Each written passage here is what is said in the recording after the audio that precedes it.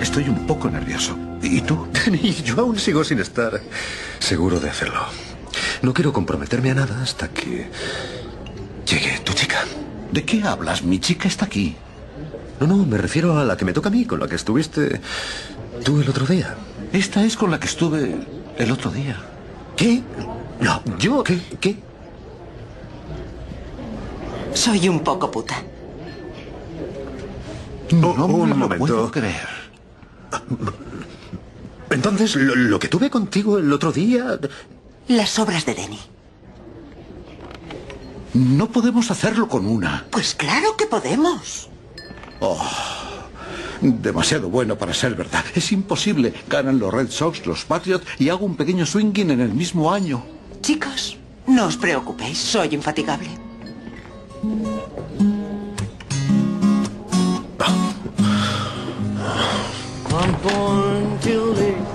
Was wringing my hands and crying. From born till late. Ya sabía yo que no iba a poder tomarme una buena hamburguesa en paz. Denny me lo ha contado.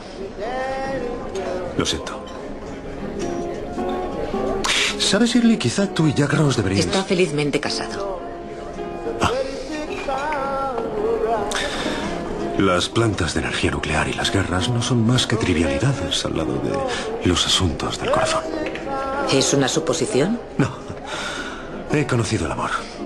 Puede que no lo haya convertido en mi deporte favorito, pero sé lo que es. Creía que Denny y tú teníais juerga esta noche. Nos ha dado miedo que se le cansaran los brazos. Eso y Gallina.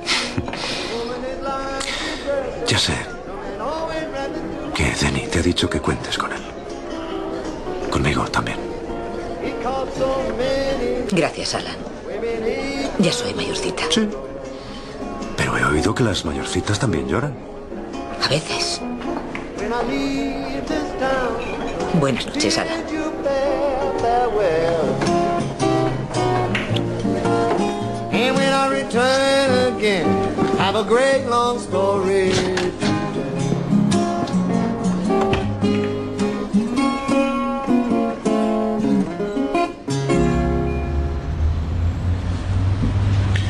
A ti al menos te han dado un besito. Yo me he quedado a dos velas. ¿Por qué? ¿Te dejé con Andrea? ¿No pasó nada? Me sentía... cabizbajo. ¿Sabes? No me gusta la idea de que vayas a escondidas a ver a Shirley. Es muy vulnerable. Debería ser yo el que se aprovechara de eso. Yo creo que es más que vulnerable. Quizá tenga el corazón partido. No por Carl Sack, pero podría ser por Jack Ross. ¿Te has fijado que siempre elige tíos con apellidos cortos? Crane, Ross, Tig, Shack, Crane. Has dicho Crane dos veces. Porque a mí no me ha olvidado. Y nunca lo hará. Tenemos que ocuparnos más de ella.